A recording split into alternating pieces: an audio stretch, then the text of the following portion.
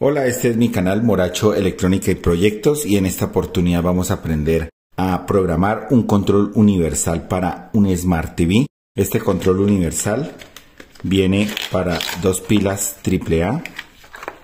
Vamos a instalarlas. Y recuerden que cada vez que le cambiamos o le retiramos las pilas a estos controles universales se deben programar de nuevo. Este es de referencia a DUL201 más X.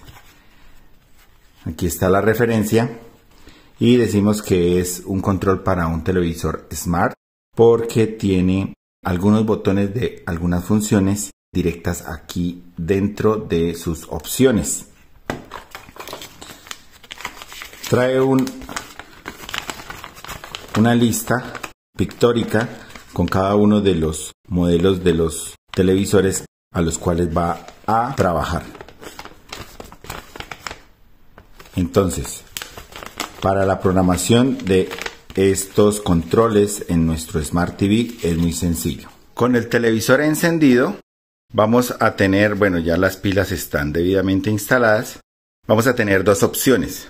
Si dentro de los botones de la numeración o los botones de la parte superior tenemos la marca ahí, no es más sino mantener presionada la tecla de la marca. Por ejemplo, aquí tenemos estas opciones. Está Sankey, LG, Sony, Samsung. Y es nomás mantenerla presionada con el televisor encendido y mirando pues el control hacia el televisor hasta que aparezca el icono del el volumen.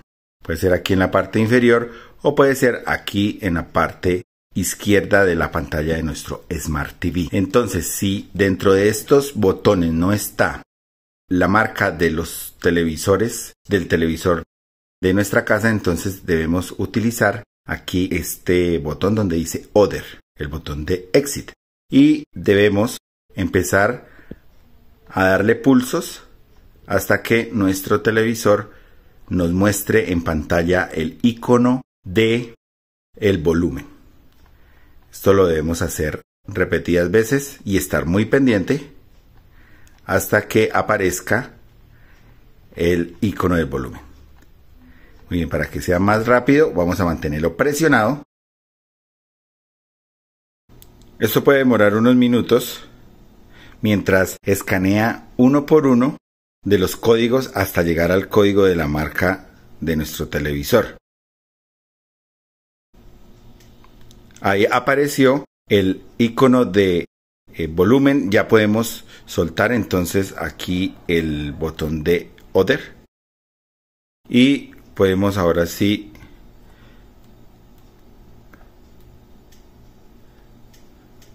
utilizarlo.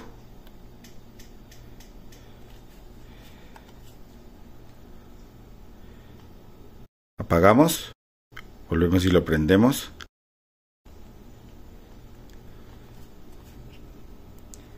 Y listo nuestro control remoto universal para Smart TV programado.